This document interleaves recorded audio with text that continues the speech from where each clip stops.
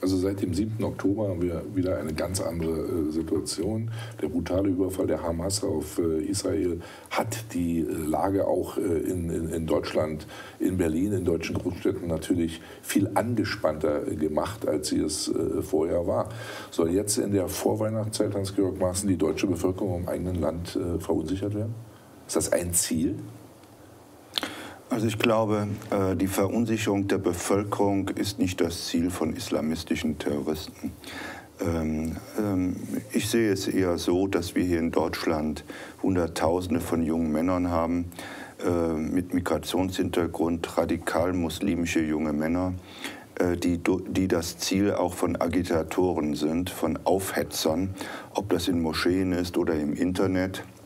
Äh, und äh, diese Leute können entweder durch eine derartige Agitation von jetzt auf gleich zu einer Terrortat gehen oder aufgrund eines anderen Triggermoments. Und Sie sprachen gerade an den, den 7. Oktober, den Überfall der Hamas auf Israel. Diese Situation seit dem 7. Äh, Oktober mit mit den Bombardements und Angriffen auch auf den Gazastreifen, die Berichterstattung in der arabischen Welt hat natürlich ähm, das Potenzial, junge Männer hier in Deutschland äh, zu radikalisieren und sie, auch wenn sie möglicherweise noch, noch Drogen nehmen, dazu zu bringen, zu sagen, jetzt muss ich es den Kuffaren zeigen, jetzt muss ich meinen eigenen Weg des Dschihads gehen, wenn andere das nicht machen.